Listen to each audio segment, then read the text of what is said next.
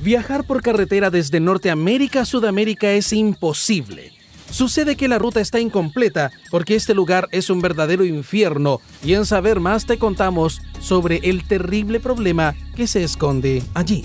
La carretera panamericana actualmente ostenta el récord Guinness como la más grande del mundo. Esta recorre 25.750 kilómetros, empezando desde Alaska y llegando hasta Ushuaia, la ciudad más austral del mundo para muchos. Sin embargo, su avance solo ha alcanzado un 99% y su construcción está estancada por culpa de un tramo de tan solo 108 kilómetros. Esta es conocida como el tapón del Darién, ubicada entre las fronteras de Panamá y Colombia, y es el único lugar donde esta zona está interrumpida.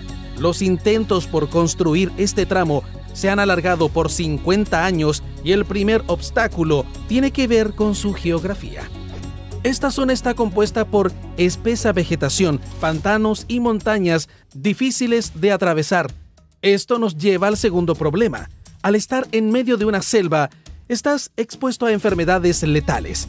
Para darte una idea, durante la construcción del Canal de Panamá, 22.000 obreros perdieron la vida por estos padecimientos. Hacia el norte de Panamá se encuentra la tercera razón de que el trayecto no se finalice. Los agricultores se oponen a su construcción acusando que facilitará la llegada de la fiebre aftosa, una enfermedad transmitida por las vacas.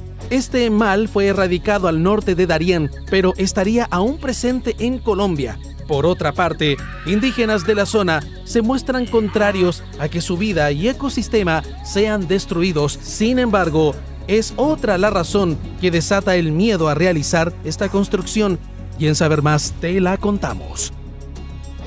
Aunque pavimentar 108 kilómetros parece poco, el tapón del Darién es una zona que se encuentra casi sin perturbar albergando en su interior un ecosistema único de plantas y especies nativas.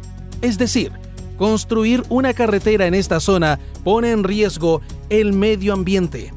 Pero el factor que más complicaciones y miedo ha traído es otro, la violencia oculta en la selva. Debido a su frondosa vegetación, esta zona se ha convertido en el refugio de organizaciones delictuales y también de guerrillas.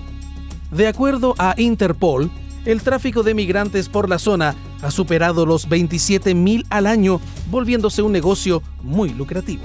Además, el lugar se ha vuelto la ruta predilecta para todos aquellos que buscan contrabandear sin ser detectados. En saber más, estaremos esperando que esto se solucione para armar maletas y partir a una aventura por toda América.